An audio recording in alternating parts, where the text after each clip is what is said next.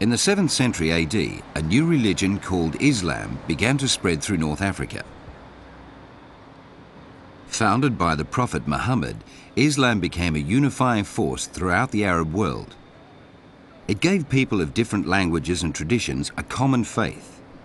To show true religious commitment, every Muslim adheres to the five pillars of Islam. One of these five duties is praying in a prescribed manner at five specific times each day often at a mosque.